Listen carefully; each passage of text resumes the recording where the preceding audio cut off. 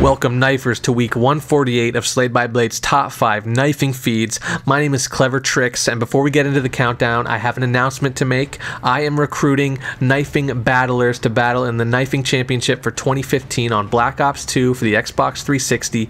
If you reside in Canada or the United States, say I want to battle for your chance to win the championship title and a gold controller for the console of your choice. Approximate retail value of $100. If you want to fight for the championship, send me a message saying I want to battle. Let's get into this countdown. In the number 5 spot this week, just squeaking into the countdown, we got VJ playing some team deathmatch. He's going to toss a concussion down the hallway here, pick up two Combat Axe kills, turning around, seeing the barrel of a gun looking right at him, and gets another two kills for the four-man Combat Axe feed. In the number 4 spot, some more team deathmatch, Babylon, using his ballistic knives to shoot those headshots, getting a rolling four-piece headshot skewer. Amazing work, Babylon.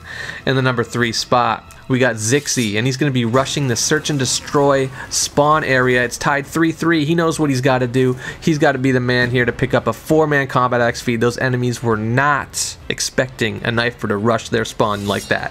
In the runner-up position, we have EQ Axe playing some team deathmatch, picking up four skewers, and then a knife for a five feed here. Very rare to see team deathmatch appearing so often in this countdown here. But wait, in the same game, picking up another set of quad skewers for that four piece. Beautiful. And this week's number one spot is held by Zarmate. He's going to rush the drop zone in Modern Warfare 3, picking up a quad throwing knife feed. Guys, if you enjoyed this week and you think you have what it takes to make the top five countdown, send your clips to Slayed by following the instructions on your screen. And remember, if you want to be in the knifing championship, leave me a message saying that you want to battle. Hope you guys enjoyed and make sure to stop by next week. But until then, stay Slayed.